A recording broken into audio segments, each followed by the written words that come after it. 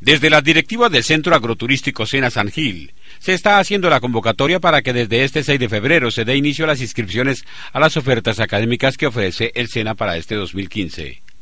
El municipio de San Gil tiene una amplia oferta académica eh, dirigida a todos los bachilleres.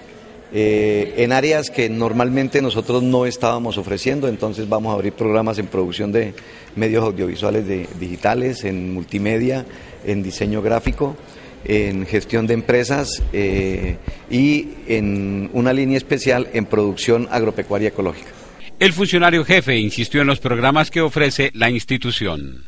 Tecnólogo en análisis y desarrollo de sistemas de información, tecnólogo en producción de multimedia, tecnólogo en dirección de ventas, tecnólogo en diseño para la comunicación gráfica, tecnólogo en producción de medios audiovisuales digitales, tecnólogo en producción agropecuaria ecológica y tecnólogo en gestión de empresas agropecuarias. El directivo dice que los requisitos son básicos y elementales que cualquier joven puede cumplir siempre que desee estudiar en el SENA.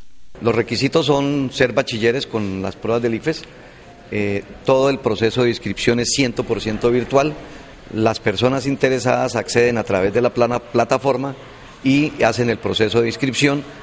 Los exámenes y la selección también es a través de la plataforma.